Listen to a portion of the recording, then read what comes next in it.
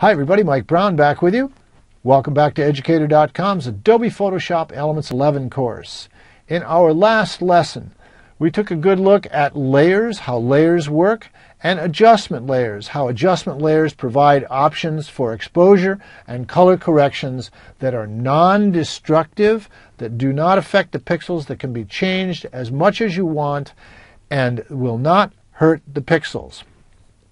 When you saw every time we created an adjustment layer, and here's adjustment layers right here, it comes automatically with a mask attached. That is a layer mask.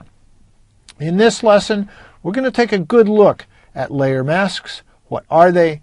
Why we want to use them and how you modify them. What it is, why use it, how to create and modify the mask, a mask correction trick that is not in the textbooks, and we'll use an example using and modifying layer masks to correct an image. So let's get started by what is a layer mask. Let's take a look at this particular image of this young lady.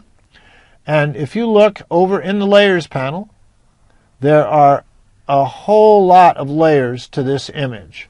There are physical layers. Here's your background layer. Here's the duplicate of the background layer, and I duplicated it one more time up at the top here, and it's turned off. Remember how our layers work? So if I turn it on, we view that layer and there's the original file. If I turn it off, there's everything underneath it. So there's a easy way to do a before and after.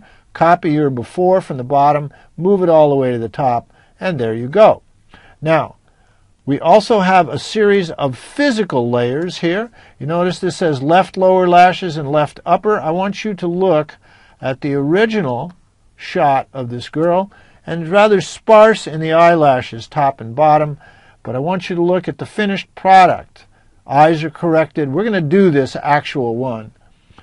This layer here is physically, oh, turn it on, the, turn it off. Sorry, I need to see the finished product. I got confused.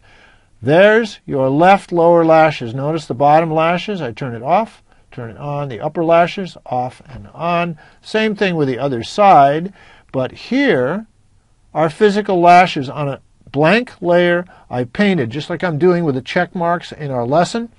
I painted these lashes and then I individually selected around one, just a, a, loose selection with zero pixel feather copy and pasted, rotated and twisted and put them in. And there's some more right there for the other side. Anyway, that's physical layers right there. We come down to the bottom. You see our original, our background layer, and a layer 3, which I think is a blank layer that doesn't have anything to do. And then we have all these adjustment layers. And look at them, hue saturation, and you see curves. This particular image was done in Photoshop, not Elements. In Photoshop, the exposure control is curves. Here, the exposure control is levels. Same thing, adjustment layer, hue saturation and curves. And we just keep coming up and you see one that's color. That's color balance, which in Photoshop has a an adjustment layer. Here it's in enhance color color variations and it actually works on the pixels. So that's one slight advantage Photoshop has. You can do this as an adjustment layer, which is non-destructive. But all you see, hue saturation, curves, and color balance. Mostly the curves, and then interspersed you see physical layers. But you notice, in this case, if you remember, before I go on, every time we automatically add a an adjustment layer, let's just open one up for levels and I'll show you. It opens up, there's the layer, and attached to it is a mask or a thumbnail. That is an actual selection mask, which is also a mask. Remember, our selection brush tool has selections and masks. That's a mask, but being white means it affects nothing. I mean, it's not isolating an area, it affects the entire image. Down here, you see masks attached to hue saturation with just a part of the face. We can view a mask by holding down Option on a Mac, Alt on a PC, and when the blue window or the blue frame is around it, click the mask, and there you see the black and white version of that mask. Okay, Option or Alt click again, and it's gone. Now, if we do that with the white one, Option or Alt click, it's all white, or again, it comes away.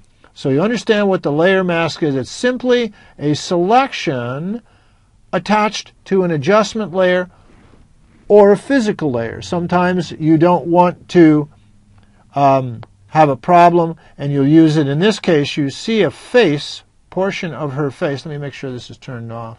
Yes, it is. Portion of her face. And the reason these masks are there, they're blurs. Notice the skin when I turn it on and off. Notice the pores of the skin.